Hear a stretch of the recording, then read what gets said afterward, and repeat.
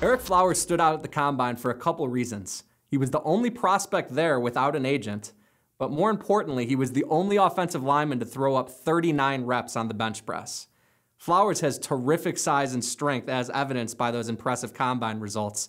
And he's a two year starter at left tackle, so brings some pretty good experience to the table. In order for Flowers to carve out a permanent home on the left side in the NFL, he'll have to show a little bit more awareness against counter moves and a little less tightness in his ankles. But there's no question he has the strength to impose his will in the run game, and while he may start out on the right side, a team is likely to roll the dice on Flowers somewhere in the first round as a potential future left tackle.